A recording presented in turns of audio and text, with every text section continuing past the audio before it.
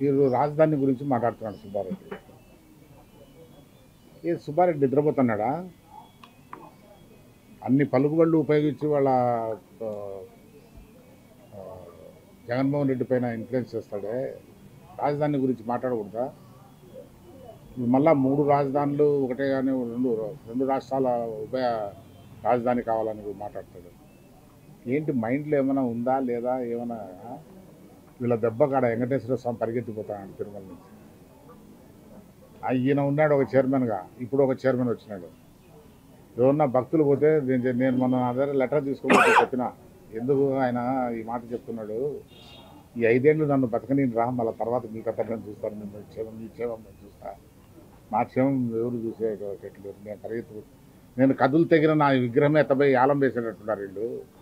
అనే పరిస్థితిలో ఏడుస్తున్నాడు వెంకటేశ్వర ఇటువంటి పరిపాలన ఇచ్చిన మీరు కొత్త కొత్తవి మాట్లాడుతుంటే ప్రజలు జీర్ణించుకుంటారా? సుబ్బారెడ్డికి కా అసలు మెదడుందా అని నేను అడుగుతున్నా. ఉభయ రాష్ట్రాల క్యాపిటల్ ఇప్పుడు వస్తుందా నీకు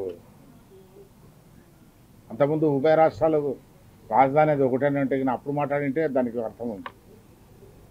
ఇన్ని దినాలు నువ్వు సపరేట్గా పరిపాలన చేసి మీరు మీ అనుయాయులంతా ఇప్పుడు ఈ మాట చెప్పడం ఎంత అసమంజసంగా ఉంది అసలు ఏ వక్రమైన పరిపాలన ప్రతి ఒక్క దాంట్లో రిఫ్లెక్ట్ అవుతుంది.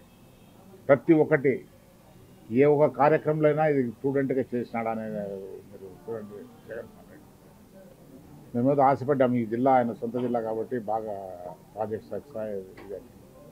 ఈ జిల్లాలో రోడ్లే ఘోరంగా ఉన్నాయి.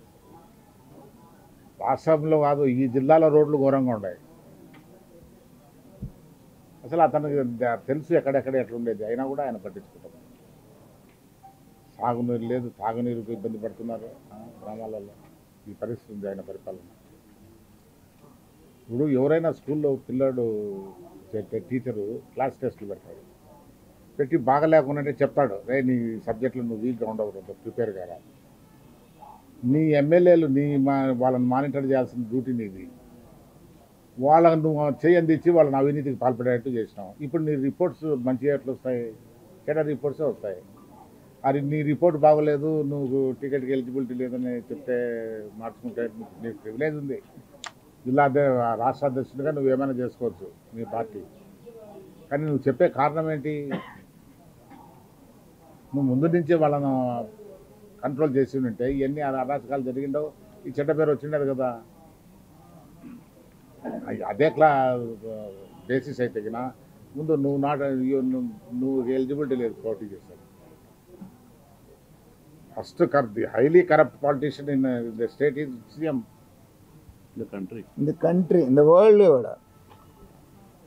అసలు ముఖ్యమంత్రి వస్తే ఫైల్ వస్తే ఇది ఎంతమంది ప్రజానీకానికి లాభపడుతుంది ఎటువంటి ప్రజలకు లాభపడుతుంది అనేది అడిగి కనుక్కోవాలి. నువ్వు వచ్చి రాకముందే ఆ ఫైల్ నాకెంత అనే పద్ధతిలో నువ్వు ఆలోచిస్తుంటే నువ్వేం ముఖ్యమంత్రి అయ్యా. కడప జిల్లాకు అవమానం తలకాయ పంచుకుంటాను సిగ్గుతో. మీరు ఒకటి ఆలోచించండి ఎక్కడైనా కూడా a section of the people హ్యాపీగా ఉన్నారా ఈ పరిపాలనలో? మీరు ఇంట్రాక్షన్ మీకు ఎక్కువ ఉంటుంది ప్రజలతో మాకన్నా. మాకైతే మా పార్టీ వాళ్ళనుకో మీకు అందరూ వస్తుంటారు మీ దగ్గరికి.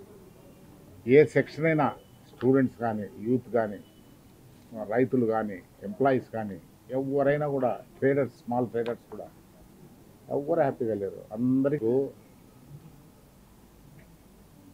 ఆ రక్తం మిగిన బయట దొరికినట్టుగా అది కూడా లాగేసిండు మీరు. ఏదో మీరు ఖర్చులు పెట్టి లాగాలి. అది కూడా ఆ దినాలు రాకముందు ఎలక్షన్లు వచ్చినాయి.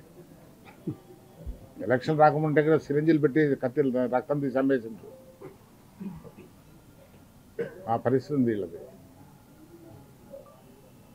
ఎన్ని ఏజెన్సీలు ఉన్నాయి వాళ్ళకు ఇన్ఫర్మేషన్ వాళ్ళ పరిపాలన గురించి ఎన్ని ఏజెన్సీలు ఇన్ఫర్మేషన్ ఇస్తాయి? ఇండిపెండెంట్ ఏజెన్సీస్ ఇంతకుముందు మహారాజులు రాత్రిపూట రా శ్రీరాముడి కాలంలో కూడా రాత్రిపూట బయట తిరిగి వాళ్ళ పాలన గురించి ప్రజలు ఏం కనుక్కుంటుందా అనుకుంటున్నారని కనుక్కునేవాళ్ళు. ఇప్పుడు నీకు ఈ- పార్టీ క్యాడర్ ఉంది తర్వాత సిఐడి ఉంది ఇంటెలిజెన్స్ తీసుకెళ్ళి ఉన్నాయి చెట్లు చేతిలో ఎన్నో ఉన్నాయి. ఎంత ఇన్ఫర్మేషన్ తెచ్చుకోవచ్చు? నువ్వు తెచ్చుకున్నా కూడా పక్కకు దోసి పారేస్తావు నీ అభిప్రాయం అంతా ఆస్తి సంపాదించి పెద్ద ధనవంతుడు అనిపించుకోవాలని తప్ప నీకు మంచి పరిపాలన ఇవ్వాలనే దృక్పథమే లేదు. ఈ విధమైన పరిస్థితుల్లో మనం ఉండము. వీళ్ళు ఇంకా వాళ్ళను వీళ్ళ గురించి మాట్లాడటము ఇంకా ఇష్యూస్ గురించి వీళ్ళు మాట్లాడటము.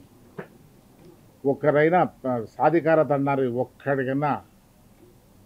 కడపలో ఎంతమంది కార్పొరేషన్ చైర్మన్ ఉన్నారు? ఏం సాధికారిత మీకు తెలీదా? వాళ్ళు ఏ విధంగా బలోపేతమైనారు?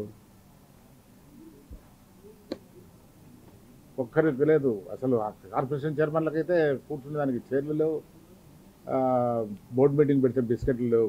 క్యాబినెట్స్ కూడా డబ్బు లేదు ఈ పరిస్థితిలో ఉంది. చాలా ఘోరంగా ఉంది. అన్నగారు చెప్పినట్టు పంపించేది ఖాయం దాంట్లో ఏం ప్రజలు ఎన్ని రోజులను భరిస్తారు? ఇప్పుడు కొడుకులు భరించడంలో నాయన సక్రమంగా లేకుంటే. అట్లాంటిది ప్రజలు ఏం భరిస్తారు? ప్రజలు ఎత్తిపరేస్తారు అతను కాకుండా ఇంకొకడు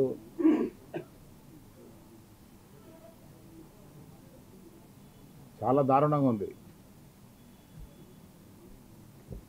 నీరారుంద జంకిరి రాసేదానికి. ప్రజల ఆస్తులు కాపాడేటువంటి పాలక వర్గాలు ఉండాలి. ఇదేంటి శ్మశానానికి స్థలాలు ఉంటాయనే నా అనుమానాలు ఉన్నాయి. మనం సస్తే పాతి పెట్టడానికి ఈ టౌన్లో స్థలం ఉందా అని. ఉందా మీరు చెప్పండి ఒకటేమన్నా ఎందుకు లేదు? అది కూడా దోచేస్తారు. వాళ్ళ బంధువులు వాళ్ళ మంత్రులు వాళ్ళే కదా టీములు పెట్టి చేస్తున్నారు. మీకు తెలుసు మీరు రాసింది ఇదంతా. పంచుకుంటున్నారు? మా నాన్న తెలివిమంతుడు నాలుగున్నర ఎకరా మాకు కొన్ని ఇచ్చిపోయినాడు. మమ్మల్ని పాతి పెట్టదని నా తమ్ముడు అంటే నాకు మొన్న గుర్తొచ్చింది. అదే కరెక్టే అని చెప్పేది. ఇక్కడ కబ్జా నాయనలు వస్తారు. వీళ్ళు స్థలం లేకుండా చేస్తారు మీకు. ఎట్లా పుట్టినోడు సావాల్సిందే.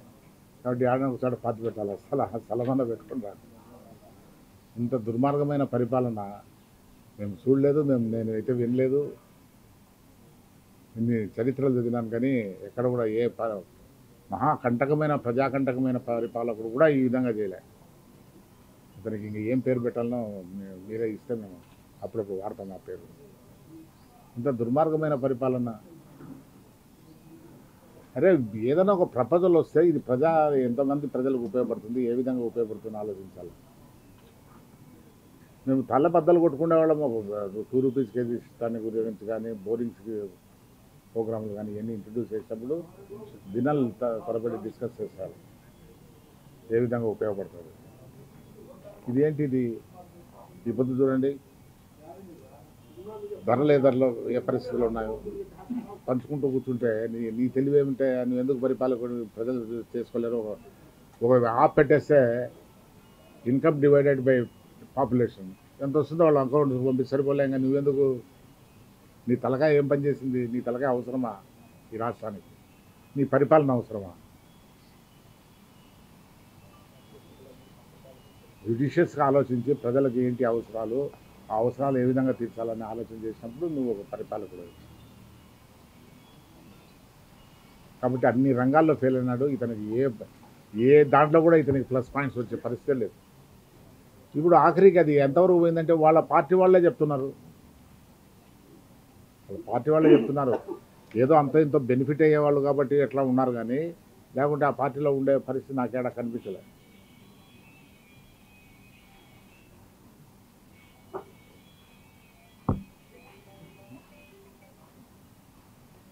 అన్నదే నేను చెప్తున్న జగన్కు ఐదు జిల్లాలు రాయలసీమ నాలుగు జిల్లాలు. ఒక ప్రకాశము నెల్లూరు. ఇది భుజ డివిజన్ అప్పుడు పెట్టిన కాన్సెప్ట్ గ్రేటర్ రాయలసీమ. ఈ తీసుకుపోయి తెలంగాణలో కలపాలని ఒక ప్రపోజల్ పెట్టారు కొంతమంది నాయకులు.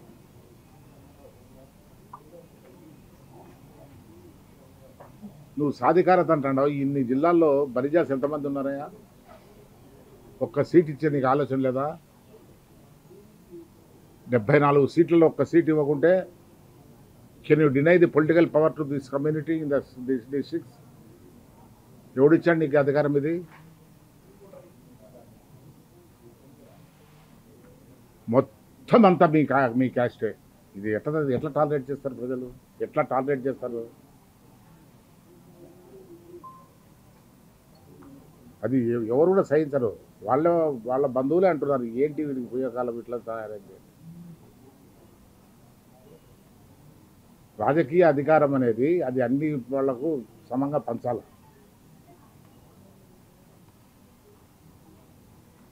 ఒక మైనార్టీకి వెళ్ళినప్పుడు మేము కొట్లాడినాం పార్టీలో.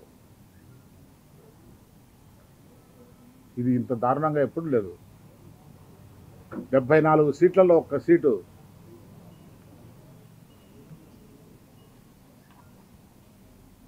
ఈ బుద్ధమైంది కడప టౌన్లో ఇన్ని కౌన్సిలర్స్ యాభై కౌన్సిలర్స్ ఉంటే ఒక్క సీటు కూడా వాళ్ళకు కూడా అడ్డం తిరిగింది కమ్యూనిటీ అంతా.